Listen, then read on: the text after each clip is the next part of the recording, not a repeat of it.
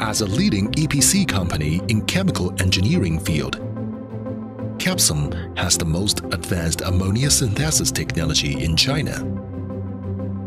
In September 2018, KAPSOM was awarded with a contract of a 600,000 tons per year liquid ammonia plant.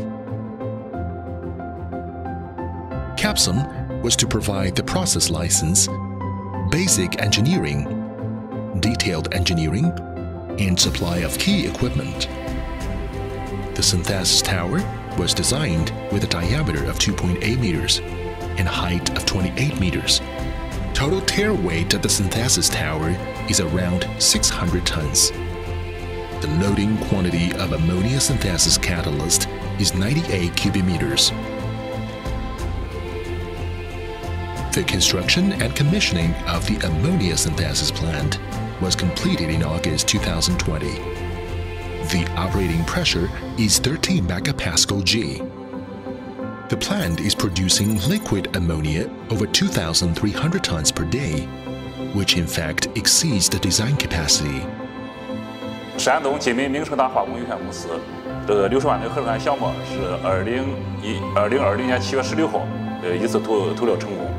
现在运行了八个月的时间。 南京国创公司给我们设计安合成工段，这个从目前运行数据来看，这个负荷已经达到两千吨，然后稳定运行，呃，出煤的这个安静值啊能达到十九十九，这个对岸蒸汽消对岸蒸副产蒸汽能达到九百五十公斤，平面温差小于两度，整个运行数据来看，这个已经达到国外这个技技术，在某些方面能够超过 这个卡塔里的这这这这这些指标，所以说从目前运行来看，应该这个非常好，达到国国内和国际先进水平的啊。The total investment of this project is around 650 million US dollars, and the annual turnover is about 420 million US dollars.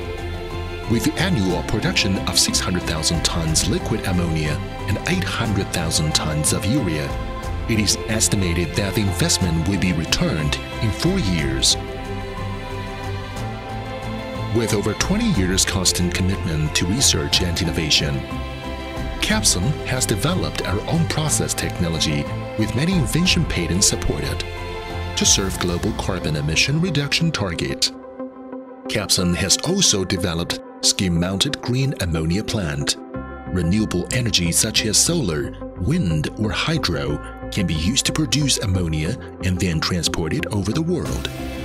Typical production capacity for a skid-mounted green ammonia plant is from 5 tons per day to 60 tons per day.